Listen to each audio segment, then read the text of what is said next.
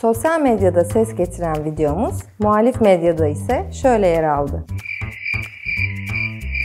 İzleyememiş, vakti çokmuş, ay yokmuş diyecektim. Bilmiyorum belki TikTok çekiyorsa o sırada ismimi vermeye cesaret etmeyerek gördüğünüz gibi ben bir kadın olarak tek başıma çıkıp adamsam dedim ama üzerine alınan olmadı. Tek bir cevap veremeyen davutçular ise sadece binlerce dislike atabildi. İlk dislike'ı da o atmıştı.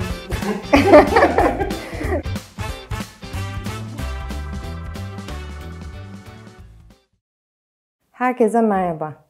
4 gün önce yayınlanan Hodri Meydan Neymiş Bu Pelikan başlıklı videomuzun izlenme süresi sizlerin sayesinde 1,5 milyonu geçti ve 100 binin üzerinde görüntülenme aldı. Videoya karşı tek bir cevap veremeyen davutçular ise binlerce dislike atmakla yetindi. Sosyal medyada ses getiren videomuz, muhalif medyada ise şöyle yer aldı.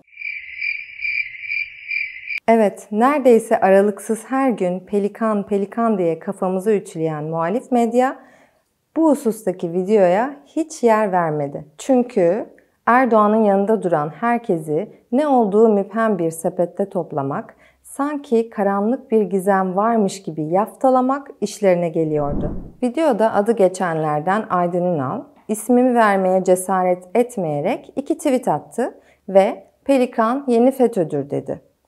Ünal'ın bu açıklamasını Oda TV'den FETÖ'cü Ahval'e kadar pek çok besleme medya gördü. Fakat Hodri Meydan diyen videoma tek bir cümle bile yer vermediler. Bence Ünal'a kimin FETÖ'cü olduğunu FETÖ'cü fikirdaşları hatırlatsın. Selim Temurçi, e, Gelecek Partisi sözcüsü.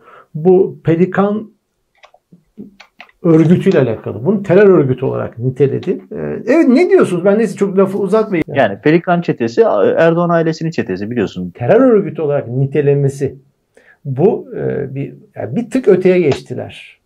Bu terör örgütünün başı lideri kim? Ya bu terör örgütü ise bunun lideri yani, de kim olduğunu zaten adını vermeden herkes söylüyor zaten kim olduğunu. Yani çünkü adam gitti fotoğraf çektirdi orada. Tabii. Fotoğraf çektirdi hep beraber. Yani Erdoğan gitti ziyaret etti, fotoğraf çektirdi, onların sırtlarını sıvazlamadı mı? Yakında muhtemelen Deva Partisi de, Babacan da direkt olarak Pelikan falan filan demeden Erdoğan demeye daha fazla başlayacaklar gibi görünüyor. Son olarak hatırlarsanız Davutoğlu'na şu çağrıyı yapmıştım. Pelikan dosyası isimli metinde sizin hakkınızda herhangi bir yalan, herhangi bir yanlış, herhangi bir iftira söz konusuysa bugüne kadar neden tek bir dava açmadınız?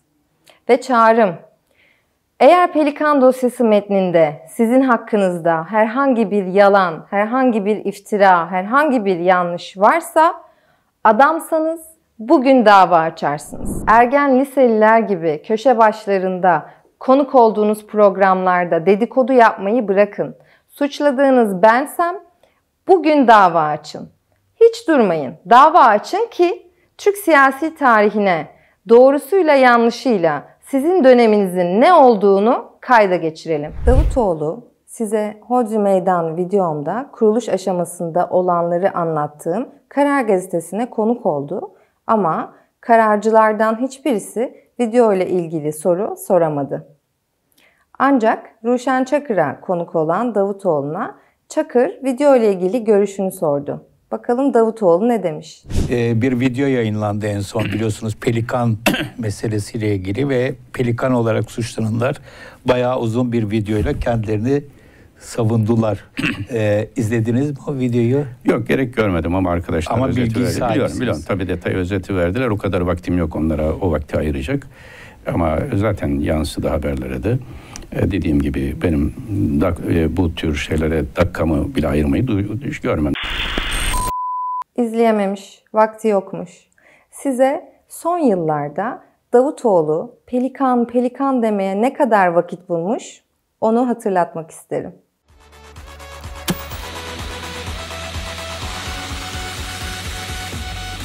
Çetesini bile istemiyorum ama Pelikan çetesi denen çete. Pelikan, Pelikan, Pelikan, Pelikan, Pelikan, Pelikan, Pelikan, Pelikan, Pelikan, Pelikan, Pelikan, Pelikan, Pelikan, Pelikan, Pelikan, pelikan, pelikan. Pelikan.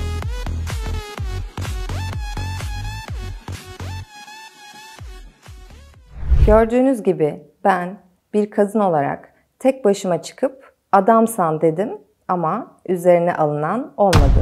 Bundan sonra pelikan diyene lütfen Hodri Meydan videomu hatırlatmayı ve kanalımıza abone olmayı unutmayın. Kitabın ortasından konuşan videolarda buluşmak üzere.